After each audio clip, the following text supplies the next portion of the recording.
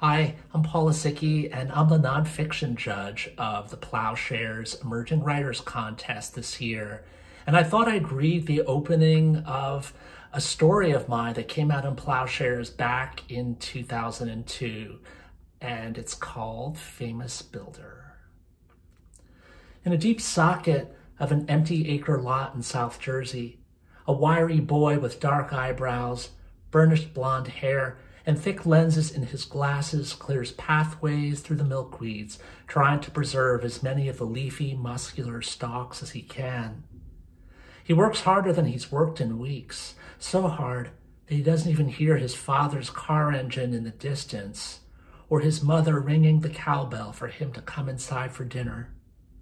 This is Telegraph Hill, the first community he's built that he's genuinely proud of from the curving of the cul-de-sacs as they wind through the woods, to the discreet street names he's penned in meticulous script on scraps of faux antique wood he's pilfered from his father's workshop. Saybrook Road, Weston Drive, Lavenham Court, Henfield Road. No wonder his fingers are cracked and cut.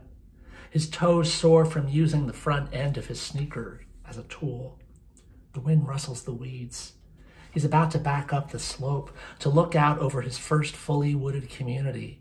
His belief is so deep that he can practically see the lanterns trembling on, the hushed couple stepping up the sidewalks toward the Northfield, the most recent two-story model.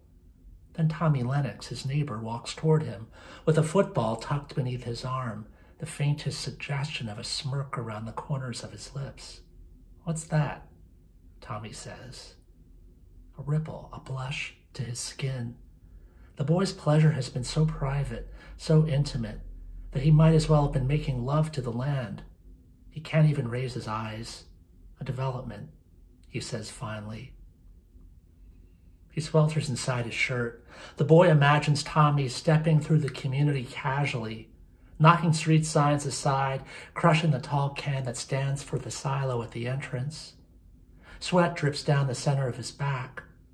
But when the boy finally lifts his head, he's surprised to see the animation in Tommy's face, the quizzical expression that suggests he's waiting to be shown around. I hope you can submit to the contest, and you can do that by going to pshares.org. Thank you so much for listening. Take care.